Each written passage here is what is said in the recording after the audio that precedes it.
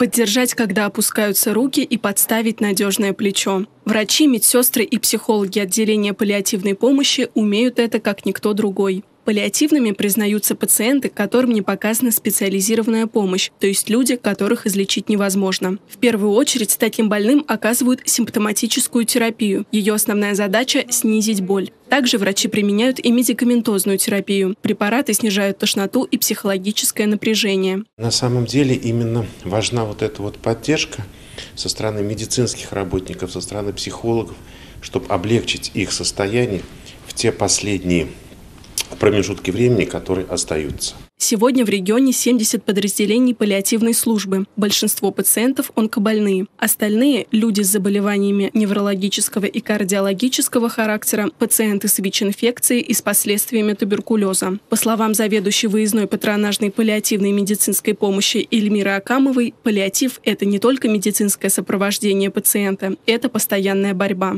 Те пациенты, которые уже имеют ограниченные ресурсы специализированного лечения, но не забываем, что специализированное лечение бывает и паллиативное.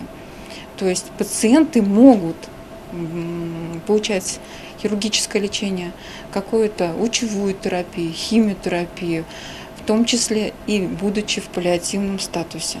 Несмотря на прогрессию, несмотря на то, что есть поражение каких-то других иных органов, они могут в дальнейшем еще бороться. Важную роль для пациента со статусом паллиативной играет психологическая помощь. Медики оказывают ее и родственникам заболевших. В зависимости от того, в каком состоянии находится пациент, какая у него семейная ситуация, врачи подбирают разные методы работы. Это может быть только психологическое сопровождение или работа психолога и психотерапевта в комплексе. Я считаю, что психологическая поддержка нужна абсолютно на всех этапах лечения, в каком бы состоянии эмоциональном, в каком бы состоянии физическом пациент не находился. Это очень важный а, блок, который влияет да, вот в целом на прохождение лечения, на э, самочувствие, на настроение, климат в семье и так далее. Сейчас в областном онкологическом диспансере работают как врачебные, так и фельдшерские бригады. Открыт кабинет паллиативной помощи для пациентов, которых доставляют в диспансер.